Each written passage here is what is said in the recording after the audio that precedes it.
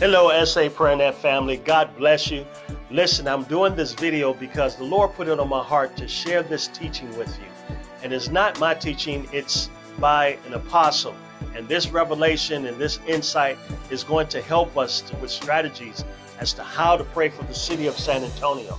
And listen, not only just San Antonio, but your family too, because I know you need breakthrough in your life.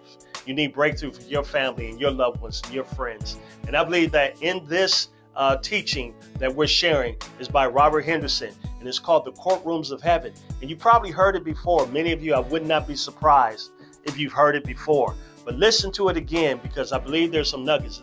There's a reason why the Lord has brought this back before us, is because I know that these are strategies that work. Um, I've actually seen it work as a personal testimony in my life. Uh, Robert Henderson has also shared testimonies in his life of how he's seen this work after he'd been praying for things for two years, and then the Lord showed him this particular strategy.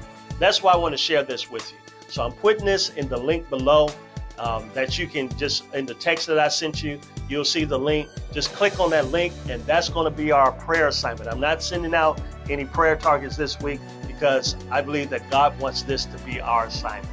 Again, we love you. We appreciate you. We appreciate your prayers. And I know that together we're going to change San Antonio. We're going to capture the city of San Antonio through prayer. Love you. God bless.